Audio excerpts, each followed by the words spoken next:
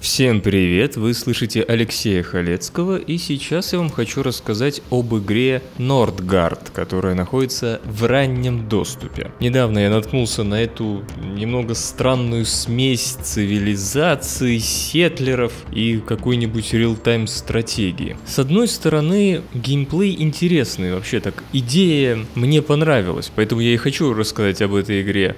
А с другой, Нордгард не так уж и много интересного в себе содержит. Достаточно поиграть несколько часов и все становится понятно. Но последнее я оправдываю все-таки ранней версии. И если разработчики действительно добавят побольше интересного, то игра получится как минимум заслуживающей внимания. Ну давайте э, конкретики. Вы играете за один из кланов викингов. Ну, тут Сразу минус, как-то уже тема викингов немного поднадоела в играх. И Skyrim, и Banner Saga, посмотрите, викинги и викинги. Почему нельзя просто взять любые другие племена, там, не знаю, Пускай на карте будут вандалы, те же самые викинги, готы и славяне, предположим, да. Почему обязательно эти викингов надо притягивать за уши? Они находятся на острове, ну мы с вами, мы выбираем один из кланов, причем разница в этих кланах существенна. И наша цель победить, причем опять же побед, вариантов побед несколько, что довольно необычно для таких вот реал-тайм стратегий. Это может быть военная победа, ну тут понятно, просто всех уничтожить. Победа развитием, открыть, ну скажу в кавычках технологии, но тут не совсем технологии, тут скорее перки, бонусы к развитию. Когда откроете определенное их количество, вы получите на научную победу. Либо победа славой, когда вы наберете тысячу очков славы, построите королевский холл, ну, не знаю, это сложно назвать замком, и будете контролировать 12 территорий. Каждая из этих побед достигается по-разному. Что значит контролировать 12 территорий?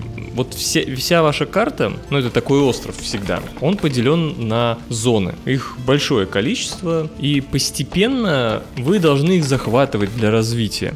Причем Тут несколько интересных идей. Во-первых, вы не можете вот просто так бегать юнитами по карте, чтобы ее разведывать. Вам нужно воспитать скаута, который будет вот подходить к границам вашей зоны и как бы всматриваться вдаль. Как только ползунок исследования будет полностью заполнен, вам эта зона откроется, и скаут сможет перейти к следующей границе и опять начать всматриваться вдаль, чтобы ее исследовать.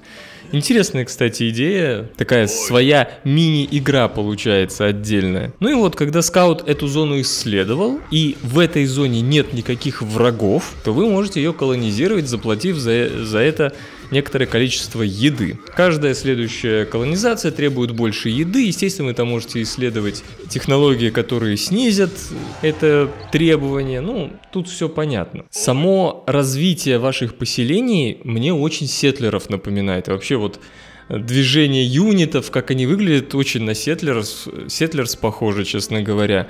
Развитие очень простое. Вы строите определенное здание и туда отправляете некоторое количество ваших жителей. Они начинают в этом здании давать тот ресурс, на который это строение нас нацелено. При этом тут большая зависимость от ресурсов в зонах. То есть вы не можете добывать, например, мясо оленей, если в этой зоне нету оленей. Не можете добывать пшеницу, если нету ресурса пшеницы. Кроме того, ваше поселение ограничено количеством количеством домов, то есть у вас не может быть больше жителей, чем построено домов, и счастьем. Если у вас счастье уходит в минус, то у вас просто не появляются новые жители. А чем выше счастье, тем жители появляются быстрее. То есть там при плюс 5 счастья следующий житель появится намного быстрее, чем при плюс 1. Ну и в общем-то все, вот это вся незамысловатая механика, откровенно говоря.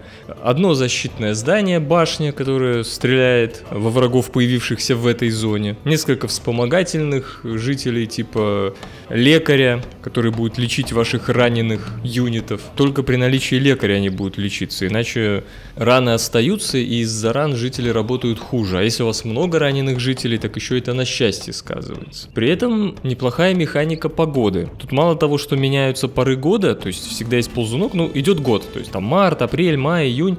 При наступлении зимы у вас снижается поступление еды, даже скорее всего в минус минус оно у вас будет, поступление дерева тоже. И вам надо не просто захватывать новые области, но и заботиться о том, чтобы у вас всегда были запасы на зиму. Кроме того, идет дождь, который тоже влияет на сбор, а во время зимы могут быть метели очень сильные, еще больше штрафов дают. Ну, правда, об этом всегда предупреждается на полсумке погоды, но тем не менее часто не готов становишься к этому. Пользуйтесь 2GIS для выбора товаров и услуг. Аптеки, магазины, маршруты и другая детальная информация о городе. Подробнее на сайте 2GIS.ru. 2GIS, если быть точным. И вот здесь, э, в Нордгарде, смешано вот это удовольствие от развития своей цивилизации, как в той же Циве, да, от исследования территории, с экономической стратегией, как в Сетлерсе.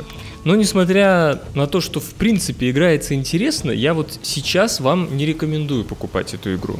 Давайте дождемся финального релиза. Вот если Endless Space 2 я вам рекомендовал, уже можно в нее интересно играть, то Nordgard, ну вот я в нее наиграл часов 7. И, собственно, я уже все в ней увидел. Мне даже не удалось ни разу проиграть. Я, конечно, понимаю, что я умный парень, но, блин, сложности, по-моему, в Нордгарде нету вообще. Ты уже понял все механики. И откровенно здесь маловато всего. Хочется больше кланов, хочется не просто, чтобы это разнообразие было, а, например, чтобы на карте не только 4 штуки, а там, например, штук 8 прям ты играл.